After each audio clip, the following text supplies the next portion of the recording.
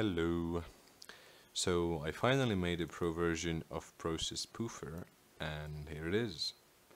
So once you download the zip file, you're gonna have to extract all of these files into a folder. Just create a folder wherever you want. You can move the folder anywhere, it doesn't matter. And move all of the files into the folder.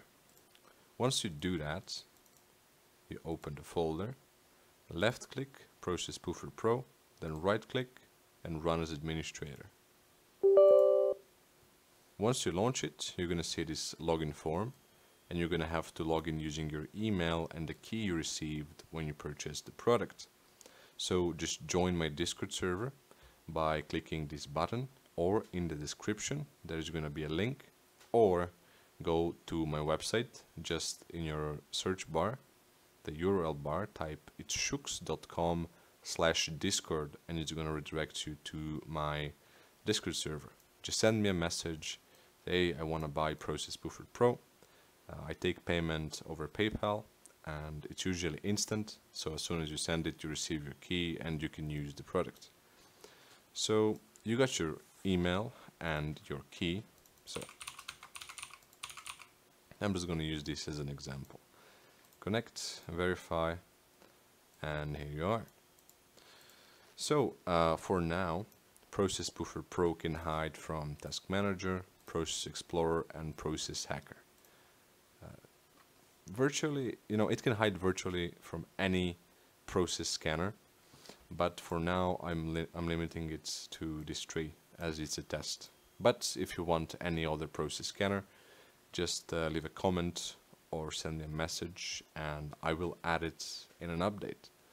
So let me show you how it works. I'm gonna start with task manager and go you know up. So I'm just gonna hide some random processes as I'm just showing how it works. Let's start with Explorer, right? So in Process Finder, you're simply gonna type Explore. You don't even have to type the full name and just click Hide All. Clicking this button basically moves all of the items into the hidden processes. So let's click it and as you can see it immediately disappears. Now let me add task manager for example right? You can see task manager here and you just click hide selected and it pretty much disappears. Now let me hide Microsoft Edge. So MS Edge hide all and as you can see it just disappears. And if you were to remove it right delete selected it pops back up. Now let me open Process Explorer. And if I try to find a process that's hidden, so for example explorer.exe, you can see that it doesn't exist. However, if I were to remove it from here, so delete selected, it should pop up right here. And uh, let me show you in Process Hacker if I look for Explorer you can see it right here. Now let me add it to the hidden list. And just click hide all. Oops hide all and it disappears.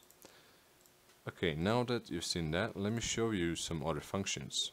So you can see this button here which basically moves the form to the tray and you just click here and it's going to move it here double click to show it or you can press this button which basically hides it fully so you can't see it at all.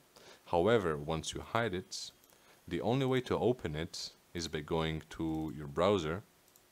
You can use whatever browser you want. So in the URL bar you're simply gonna type localhost colon 6661 and press enter as soon as you do that, the window pops up. Now I'm going to use a private window just to show you that this really works. Localhost, oops, localhost 6661 and the window shows up. So yeah, um, that would be it.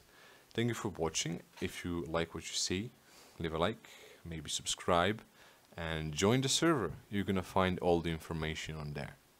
Also check description. I'm gonna leave as much uh, details as I can. Anyways, thank you for watching and I will see you very soon.